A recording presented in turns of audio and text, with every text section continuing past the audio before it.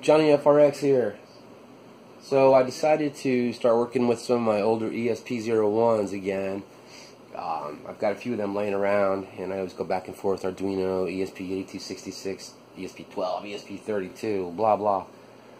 I had worked on a leak detector a little while back on one of my Arduinos and one of the bigger nodes, but I decided to kind of backtrack and use an 01 with some audibles on it and no Wi-Fi, just a basic leak detector all in probably costs four bucks.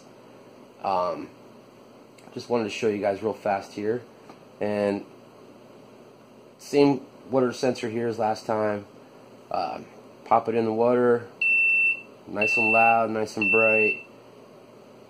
Very easy. There's no Wi-Fi connection on this right now. I disabled it to save power. But this is something you could put someplace in your house that you would hear uh, near your hot water heater if you're on the same level under your sink, maybe, etc.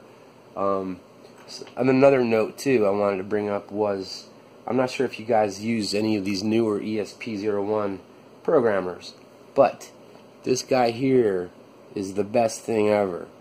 I've tried the old school using my Arduino Uno as a pass-through with pulling down this pin and that pin. I've used some of the FTDI adapters. This guy here has a nice little switch. Program and run. That is all.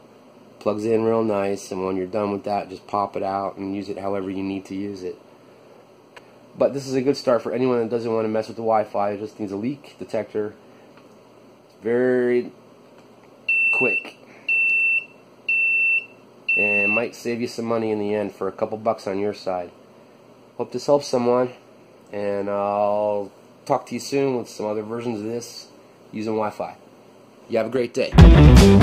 Thank you.